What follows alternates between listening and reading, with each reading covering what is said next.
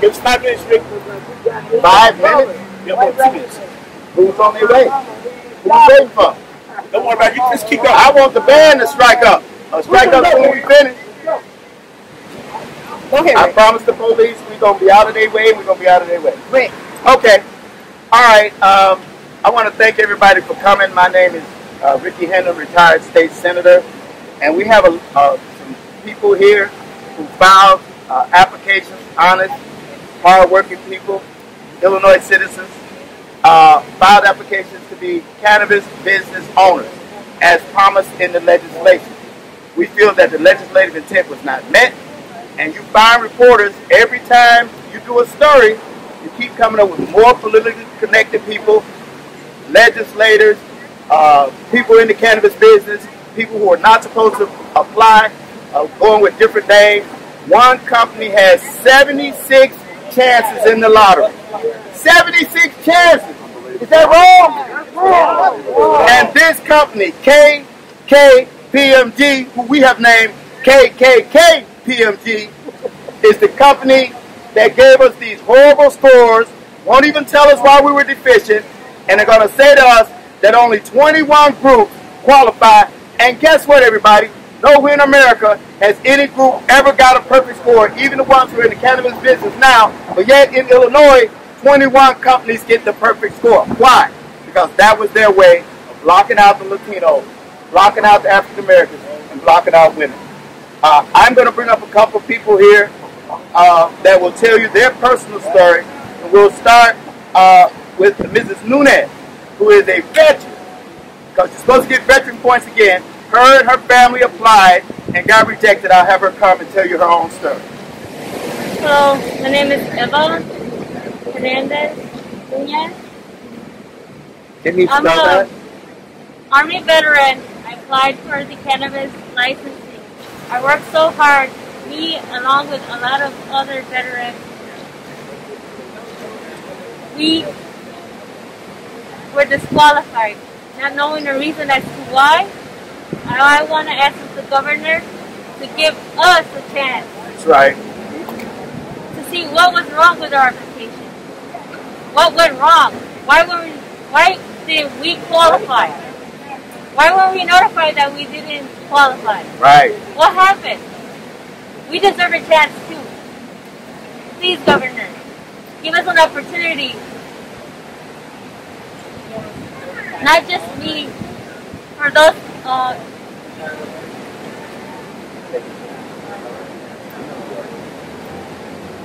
for those that work so hard, not just the veterans, but also the inequality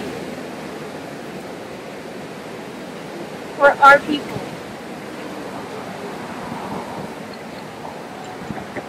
And I just think it was unfair. Please, Governor, give us a chance to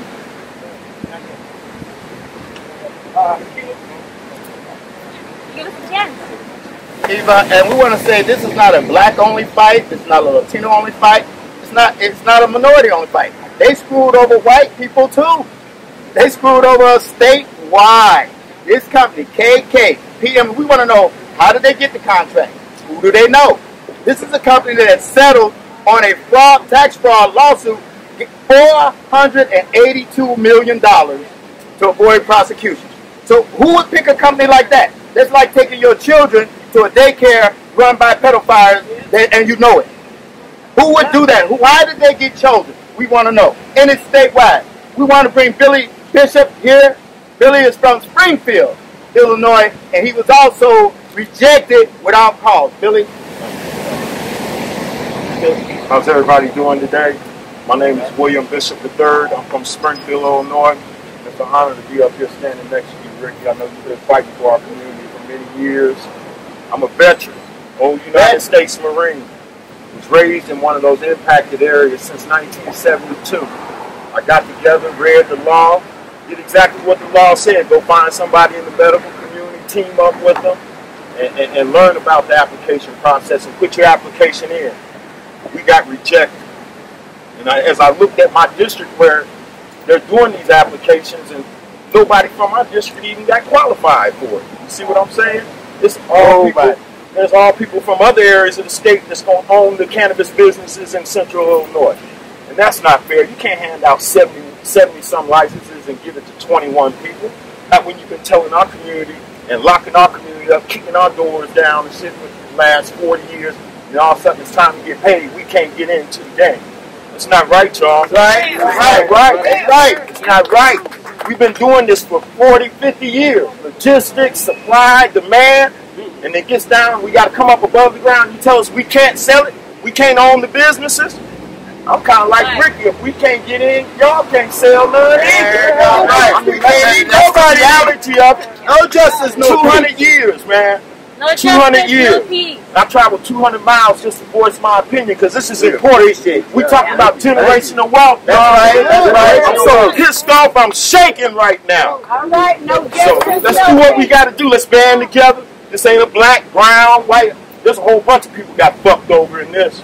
Excuse my French. That's all right. Done. All right. All right. Right. And let me say this. They have been saying to me, uh, like Billy, why we cursing?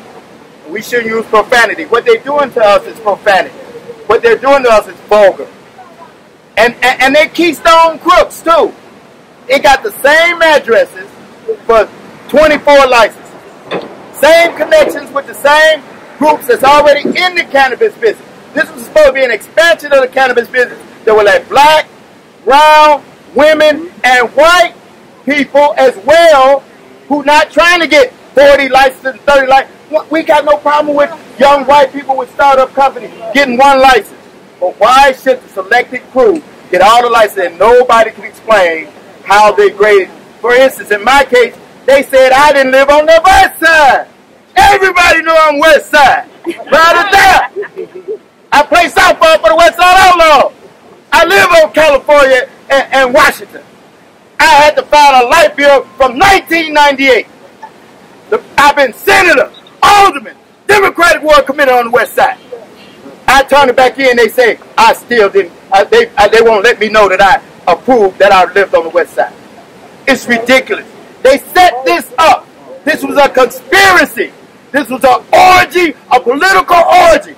And they're screwing the taxpayers of Illinois. They're screwing the black and brown community. No kiss, and I ain't even using no condom. This is brutal. And we are not going to take it.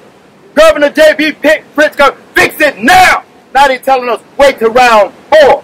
Round four will be in 2021. Are we going to wait for round four? Like I said, women are excluded. Right now, the cannabis industry is 99.9% owned by white men. Women were excluded. One young lady who applied, uh, LaShawn Burnett, part of a group, and she will come and tell her story real quick about her group and her. Hi everyone. My name is LaShawn Burnett and I'm also a social equity advocate. I represent the Joint LLC, me and my partners, three males, and me also as a black woman. But today as a black woman, I come here sad. Sad. Sad in the state of Illinois. Chicago, I was born and raised in. I've always been proud of my city. I've always took up for my city. Through all the bad that we just faced, through the COVID, hmm. Right. all the riots, hmm. all the brutality. Today I stand in front of you, embarrassed, hurt, betrayed, the lies that we were told. We were told as a social equity, we qualify black people, Latinos. We were all lied to. Live too. It stated in the cannabis law that we would get most of the points because we were black and Latino. Dead in the hood. Where are our scores? Where are scores, Our KPMG? score. I won't even Where are our qualify. scores? I was not deducted a point. To this day, we've requested our scores. We still do not have them. We demand justice. We want fairness. Pritzker, Governor Pritzker, JB, Governor Pritzker, please consider this lottery. Please don't put us on the back end. Stop the lottery! Stop the lottery! Stop the lottery! Stop the lottery! This is our time. Governor Pritzker, we know you can make that change. Yes, you can. Yes, sir. Your voice matters. We're asking for fairness, righteousness. That's all we want. Thank you. Golden. Can you spell your... Now, let me just real quick, and we're going to bring up a veteran who scored 250. You get two bonus points if you get 250. They, they dropped him to 249. cheated us, y'all. That's the point I'm saying. He actually had 250, but they dropped one point for a building that don't exist. Somehow something was wrong with one document. I'll let him tell you himself. But these are the little tricks that they've been playing. They created this 252 perfect score to create this lottery to have a reason and excuse. And remember, KPMG is professionals at this. They made $30 billion last year. They did an agreement with the government for $452 million when they were caught cheating before. Why did the government pick, a company like this? Come and tell them about your company and how they cheated you out of that one point, which dropped you below their so-called perfect score number. Well, first of all, my name is Jamil Shavers, and I represent the Shire Rome LLC. If this was any other cannabis event, I'll be here as a black man as a casualty of the, on the war on drugs. Hmm. A lifelong resident of the city of Chicago. A Marine Corps veteran with two tours in Iraq. Self-funded Put his small life business on the line. for a cannabis license. Who would have thought I would be here today because my social equity application was in question? My commitment to my country was made clear through my service, and I still pay for that service today through my PTSD. My commitment to this neighborhood through my life work speaks for itself. Yes. My commitment to building an economic legacy in my neighborhood that I live in through a dispensary made possible by this program has always been made clear. The state asked me to be committed to a process supposed to represent justice, equality, and opportunity. How can I be committed to that process when my life, my plans my neighborhood for justice and equality, and the opportunity was somehow one point shy of your ideal? How can I, the people behind the process, help people who they don't know or don't even live in the communities? I'm here because I believe in the process. More importantly, I believe I want to help the people behind the process because I know not only the people they want to help, I am the people that they want to help. But it's supposed to help this program. Right, right. I'm supposed to be the perfect definition of what a social equity applicant was. I check all boxes. We All I came from the boxes. DIA. I'm a disabled veteran. Teach. I'm supposed to be what the social equity program was designed to address. Teach. But how somehow I'm one point shy of your ideals. I was deducted one point in an area in which I received no deficiency notice. That sounds Teach. According to your rules and your that sounds like disability discrimination. These are your rules and your laws. That's Any area in which you're deficient, you're supposed to receive a If I could deficiency notice. something else down the road, disability act they violate. This country is watching to see if we move forward with social equity. That's We right. got How we move forward with social equity. That's We have the opportunity right now to get this right. I urge Governor Pritzker and all regulatory officials involved inside of this process to sit down with me to understand my passion for this, to understand my aspirations for my community, to understand what our community needs, what my neighborhood needs, and not to have somebody that's from the outside of my neighborhood dictate what goes on inside of my neighborhood. Right. We lived in these communities. We suffered. Still do. Talk to them. It was our fight, and you're taking this fight from us Taking the money. and putting it in the hands of your friends, in the hands of your comrades, in the hands of the wealthy, in the hands of the people that have already made. Mm.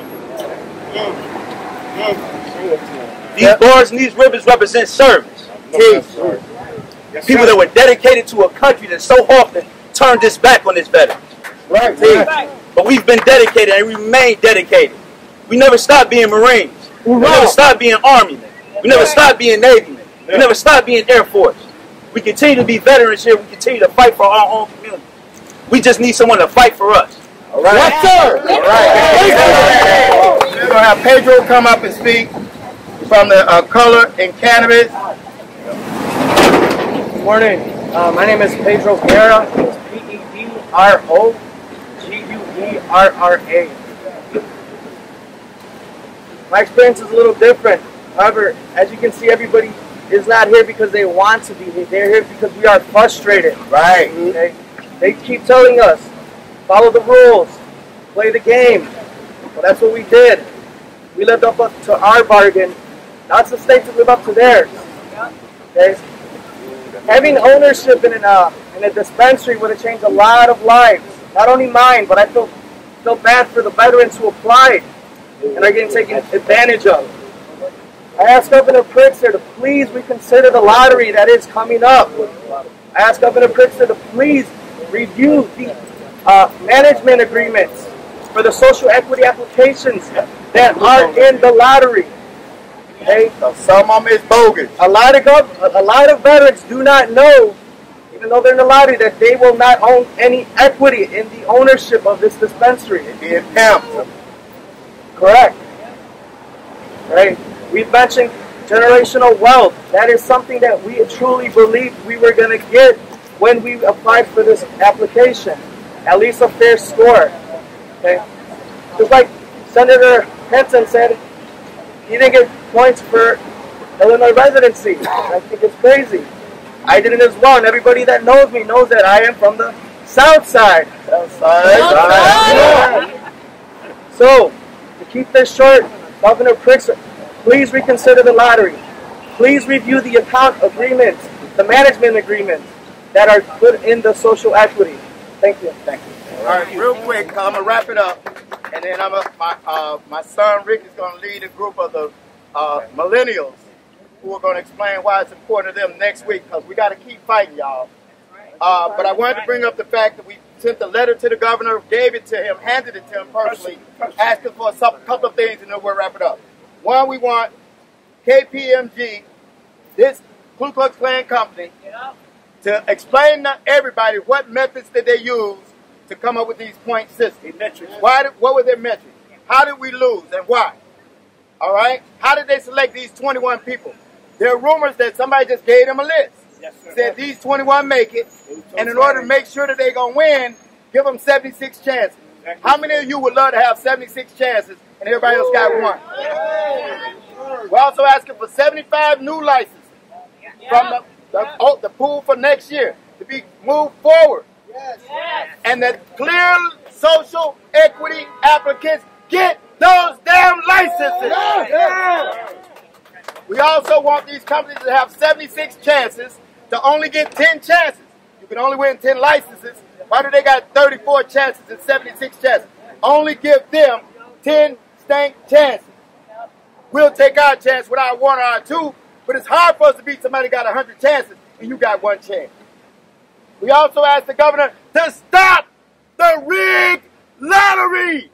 We should not have to be going to court to get them to stop that lottery. We need to do it now. We also ask them to support the trailer bill that is being pushed in the Senate and the House by the representatives that, that understand the legislative intent was not met. We want emergency session. Everybody say emergency session because we're in emergency situations. Yes, Our babies are dying every day. Black and brown killing each other, killing ourselves. This program was so we could not just build cannabis dispensaries, but build other businesses around the cannabis dispensaries and have ownership. And let me say this to the blacks that snuck their way in. If we find out, which we have, that you is just a name on the paper. That's it. If we know that you willing to wine head, drink all the wine you want, but we ain't gonna let you pimp us. By them putting your name on the application as if you're gonna own the company. If your daddy owns a cannabis company and he used your name, I'm sorry, sister. But we're gonna have to fight you. That's right. Simple as that. We gave this letter to the governor. He said he would meet with us. Yes, he did. Let's everybody We want to meet with the governor. We want to meet with the governor now. Now. Or he will force us to begin shutting down cannabis dispensaries in Springfield, in Chicago, on the west side, on the north side, no matter who owns the dispensary. If we don't eat, don't no damn body eat. No justice, no weed. I have one list. I'm just going to show the media. This list right here, every place where you see red, is a company that either has a state rep or a Democratic ward committeeman, which is the saddest part because we vote Democrat all the damn time. Elections coming up, they want to talk about Trump. What about you? Yes. Everywhere where you see red, it's some bullshit. I said I wasn't going to cuss today, but I had to get that one out. Because that's what this is. That means, they, and when you see a double red, that means it's the same company, same address, same lawyer, same registered agent, and they got 76, 34, 48 chances. Exactly. Governor J.B. Pritzker, do not let these people do you like this. KPMG made $30 billion last year. The cannabis business made $70 million last month. But we broke because they won't let us in. So everybody needs to understand we're dealing with gangsters. We're fighting drug dealers. We're fighting a corrupt government. Yep. But we're going to fight this and we're going to win. Thank you. I will take any questions and then we're going to do one more march downstairs and we and we should be wrap it up. But if you did not march in front of their door at least one time, you should at least march one time to let everybody in the AI building know that KK, PMG, and uh, they said cannabis is about to go legal nationwide. Everybody's looking at Illinois. If we get social equity right here, we don't have to say minority participation. We don't have to say affirmative action. But if they're going to use social equity to get, deny us our rights, then we got to go back to saying affirmative action, minority participation, black, brown, and women. But if we get it wrong, nationwide, so we're asking Joe Biden, Kamala Harris, and President Trump, where do you stand on social equity? How do you interpret social equity? And these people say, well, we qualified because we're going to hire some Negroes. That was called slavery. We had full employment. Everybody worked back then. We ain't going back to that shit no more. Any questions? If not, let's go. Let's march down one more time. KK PMG. Blue Klux Klan PMG. Strike up the band. Come on.